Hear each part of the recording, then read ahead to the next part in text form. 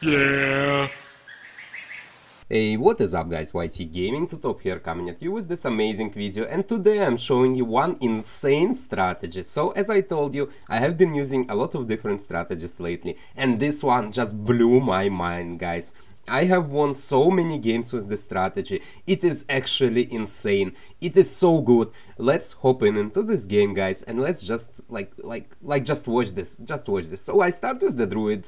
I go to 002. I equal to 284 with two space blues at the end, and I get my Obyn round one. It's very good if you can get it round one if there is no max anti-stall on their end. So uh, you get earlier trees, obviously, and you want to buy your Obyn uh, round 3 for 40 bucks. So whenever you get your Obyn round 1, always buy round 3, no matter what strategy you are using, because it's just 40 bucks, it gives you extra level, so it, it, it's a really good upgrade. Anyway, we micro our druid a little bit here and there, back and forth, and as you can see, I bought the 40 bucks upgrade, I, I always do this.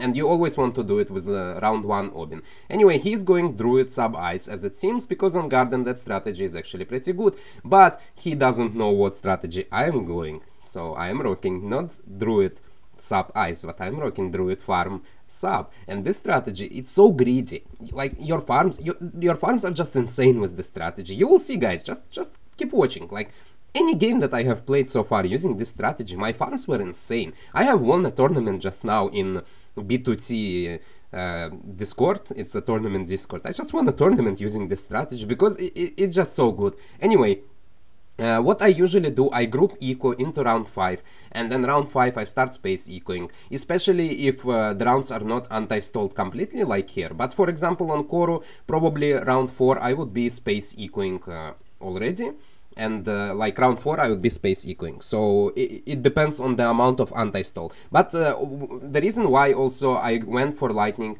because on garden you always want to get lightning on your upper druid, uh, it's just so much more helpful uh, defending anything they are going to send against you. Plus the AI puff, double puff, there is no really good druid spot on this map, so lightning works out perfectly. And uh, we don't really need Avatar of Wrath guys. With this strategy I believe I can defend anything until round 30 32.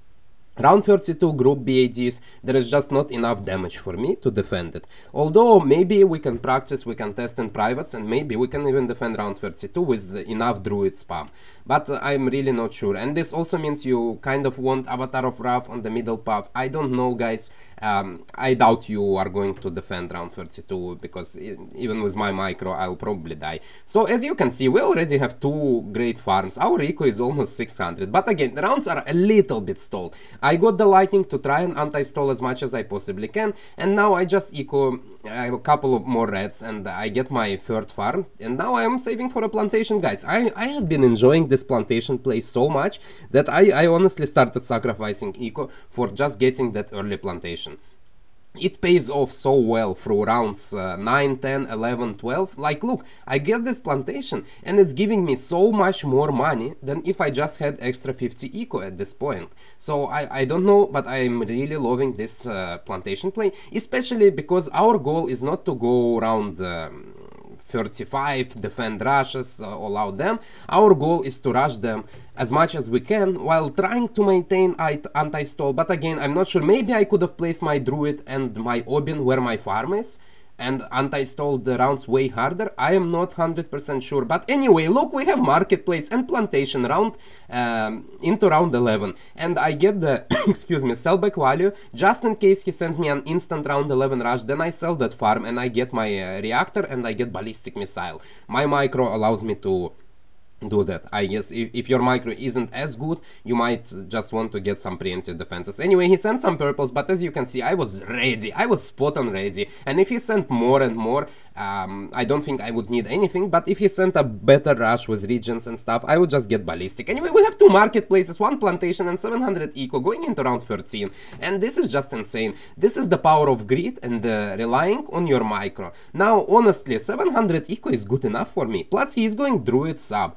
And whether he has ice or ninja, he will probably be able to defend my rushes and I will probably be dead to third BAD or two BADs and DDTs round 30 um, I'm not sure how well my defense is going to be against it. So I don't eco, I go for my BRF, round 15 guys, you, you know the vibe. Also, you could have noticed that I saved some money before going for BRF. I know I had enough, but I did save a little bit of money there, uh, just in case he sends me ceramics or something, so I have enough to afford my ballistic missile instantaneously if he is going to rush me. So, and here comes some rush against me, I perfectly afford my ballistic, so I easily defend that rush. He did not layer much there, and uh, we easily defend it. And we have BRF, and we are going for our second marketplace, round 16 guys.